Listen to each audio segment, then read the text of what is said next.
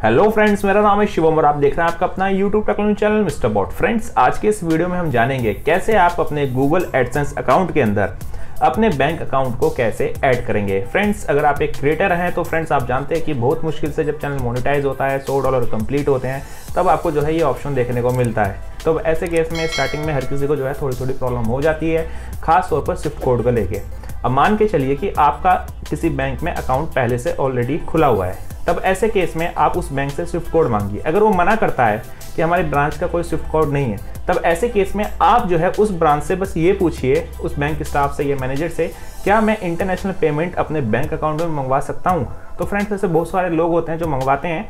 वो अगर बोल देता है हाँ तब ऐसे केस में आप समझ जाइएगा कि आपका जो बैंक है, उसका स्विफ्ट कोड किसी सीनियर ब्रांच का वो यूज़ कर रहा है। चाहे वो डिस्ट्रिक्ट की बड़ी ब्रांच हो सकती है, चाहे वो स्टेट की सबसे बड़ी ब्रांच हो सकती है, ठीक है? इतना आपको समझना है।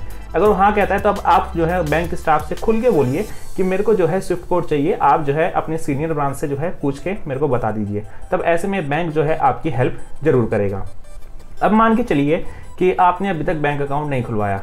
अगर आप बैंक अकाउंट खुलवाते हैं किसी बैंक में तो वहाँ पहले आप पूछ लीजिएगा क्या मुझे स्विफ्ट कोड मिलेगा। अगर बोलते हैं हाँ तब जो है आप बैंक अकाउंट को ओपन करा लीजिए, ठीक है? तो सबसे पहले बात आपको इन दोनों पॉइंट्स का ध्यान रखना है। अब इसके बाद जो है हम जानते हैं कि कैसे आपको गूगल एडसेंस के अंदर अपने बैंक अकाउंट को कैसे ऐड करना है। तो इसके लिए चलना होगा हमें फ्रेंड्स अपनी कंप्यूटर स्क्रीन पे। तो चलिए फ्रेंड्स चलते हैं कंप्यूटर स्क्रीन पे। जैसे कि फ्रेंड्स आप सभी देख सकते हैं, हम आ गए अपनी कंप्यूटर स्क्रीन पे। सिंपली आपको यहाँ पे सर्च करना है गूगल एडसेंस लॉगिन या गूगल एडसेंस करके सर्च कीजिए। जैसे आप यहाँ सर्च करेंगे तो आपके पास जो है बहुत सारे सर्च रिज़ल्ट आ जाएँगे। फ़र्स्ट लिंक पे आपको क्लिक कर देना है और आप जो है इसकी ऑफिशियल वेबसाइट में आ जाएँगे और अपनी मेन आईडी से जो है यहाँ पे साइन इन कर देंगे। साइन इन करने के बाद जो है आपको ऊपर टॉप में जब हंड्रेड डॉलर कंप्लीट हो जाएगा तो यहाँ पे एक्शन बटन शो होगा। अगर नहीं होता है तो कोई बात नहीं, आप तब भी ऐड कर सकते हैं। जब आपके अकाउंट में सिक्सटी डॉलर कंप्लीट हो जाता है तो यहाँ पेमेंट पे आप क्लिक करके पेमेंट मेथड ऐड कर सकते हैं। अगर यहाँ पे आपको ये हाइड दिख रहा है तो आप इस तरीके से अनहाइड कर सकते हैं। पेमेंट पे क्लिक कीजिए। अब क्या करना है आपको? यहाँ पे पेमेंट मेथड जो है ऐड करना है।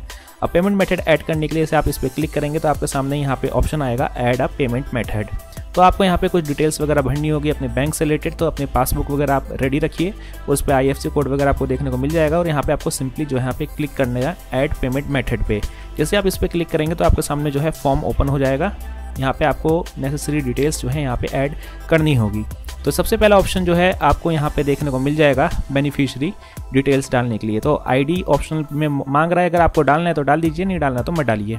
तो अब यहाँ पे पूछा नेम ऑन बैंक अकाउंट ठीक है, जो भी आपका पासबुक में नेम है आपका, ठीक है, वो आपको यहाँ पे एंटर करना है। एकदम सही नेम के साथ जो है एंटर कीजिएगा। अब यहाँ पे जो है आपको क्या करना है, अपने बैंक का नेम एंटर कर देना है और यहाँ पे आईएफसी कोड डाल देना है। ये सारी डिटेल्स जो है आपको आपकी पासबुक से मिल जाएगी। अब बारी आती है फ्रेंड स्विफ्ट कोड की। तो स्विफ्ट कोड मैंने आपको बता दिया कैसे डालना है, वो अपने बैंक मैनेजर जो आपको बताएगा बैंक वाले, वो आपको यहाँ पे डाल देना है। अब बारी है अकाउंट नंबर की। तो यहाँ पे अकाउंट नंबर डाल देना है और नीचे री एंटर अकाउंट नंबर पूछ रहा है, वहाँ पे भी आपको दोबारा से री एंटर कर देना है, जो आपका बैंक अकाउंट नंबर है। उसके बाद आपको यहाँ पे सेट एज प्राइमरी कर देना है, ठीक है? और यहाँ पे सेव कर देना है। सेव करने के बाद देखिए, ये पेमेंट मेथड जो है यहाँ पे ऐड हो चुका है और हर महीने की 22 तारीख को जो है, इस अकाउंट में आपका पेमेंट जो है ऑटोमेटिक ट्रांसफ़र हो जाए। तो देखा फ्रेंड्स आप सभी ने हमने किस तरीके से गूगल एडसेंस अकाउंट के अंदर बैंक अकाउंट को कैसे ऐड किया? तो इसी तरीके से जो है आप भी ऐड कर सकते हैं। इस वीडियो के रिगार्डिंग अगर आप सभी को कोई भी क्वेरी है, नीचे कमेंट बॉक्स में कमेंट कीजिए। अगर आप चाहते हैं कि मैं किसी और टॉपिक पर वीडियो बनाऊँ तो वो भी नीचे मेरे को कमेंट करके ज़रूर बताइए। तो चलिए फ्रेंड्स मैं मिलता हूँ आप सबसे नेक्स्ट वीडियो में। तब तक के लिए जय हिंद, जय भारत।